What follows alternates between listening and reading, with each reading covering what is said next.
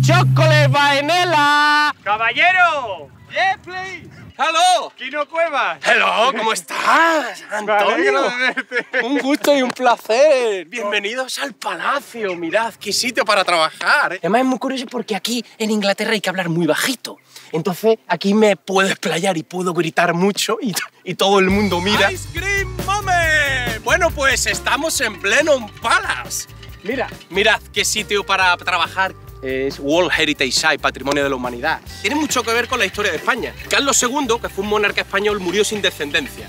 Entonces, Alemania y Francia reclaman el trono de España. Entonces hay una batalla en Blenheim, por eso se llama Blenheim Pala, que es un pueblecito al lado del río Danubio. Francia y Alemania son 8.000 soldados más, pero John Churchill, tatarabuelo de Winston Churchill, le hace una acción envolvente y gana la batalla. Entonces, en honor el rey de Inglaterra le regala todos estos terrenos y empieza la construcción del palacio. Y ahí está John Churchill eh, en la columna de la victoria.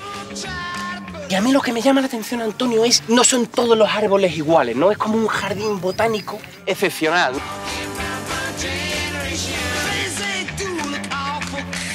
Y bueno, aquí os presento a la Champagne Wagon, más conocida como Bernie. El año pasado, en el concierto del Elton John que tuvimos aquí dentro, estuve yo aquí vendiendo una botella de champán a 300 libras. Yo vendía con un eh, inglés que tenía eh, problemas de audición, tenía su audífono, ¿no? Entonces, entre que él no escuchaba bien y yo no hablaba bien inglés, hicimos un equipo eh, al, al plan, no me chilles que no te veo, ¿no?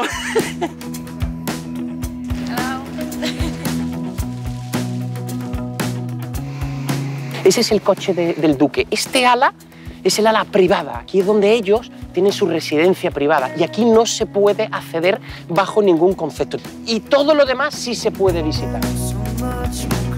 Yo elegí Oxford porque tenía eh, y tiene un 1% de, de desempleo. Es decir, ya te digo, es el sueño de capitalistas y, y comunistas. ¿Qué es lo que ocurre también, Antonio?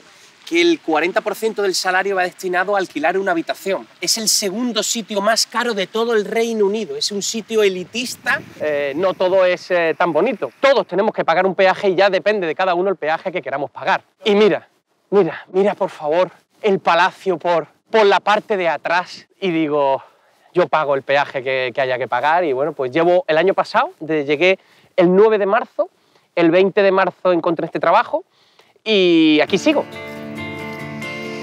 Y estos jardines son en honor a Sir Winston Churchill, que fue el único que no miró hacia otro lado cuando Adolf Hitler invadía eh, Europa. Gracias, Winston. Qué grande eres, monstruo.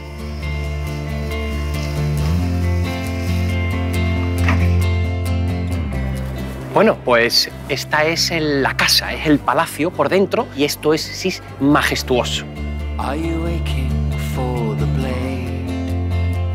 Y mira a quién tenemos aquí, Carmen de Alicante, historiadora del arte. Hola, guapa. Somos los dos únicos españoles que estamos aquí trabajando. Llevo el grupo de, de lo que es eh, reservar las visitas guiadas y asegurarnos que toda la información de lo que se puede hacer en la casa y en los jardines llega a todos los visitantes.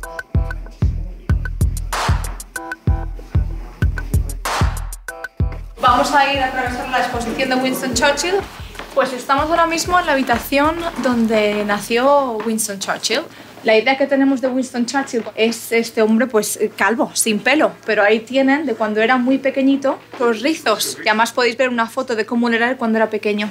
A mí una de las cosas que me gusta es el respeto que le tienen a su historia. Aquí se cae una piedra y le hacen un monumento. Estamos ahora mismo en lo que sería la habitación roja, una de las grandes colecciones privadas de Van Dyke, Reynolds, eh, pero a mí me encanta siempre resaltar este que tenemos aquí. Tenemos el noveno duque al lado Consuelo Vanderbilt. Ella fue forzada por su familia para casarse con el noveno duque en una época en que en, en América las nuevas grandes fortunas querían títulos y entonces ella fue de la familia Vanderbilt la que salvó en realidad la historia eh, de este palacio. Está en pie gracias a su fortuna. Una historia triste porque ella no quería casarse, pero al final tuvo su final feliz porque se divorciaron y ella se casó con un piloto francés y fueron felices. Un braguetazo.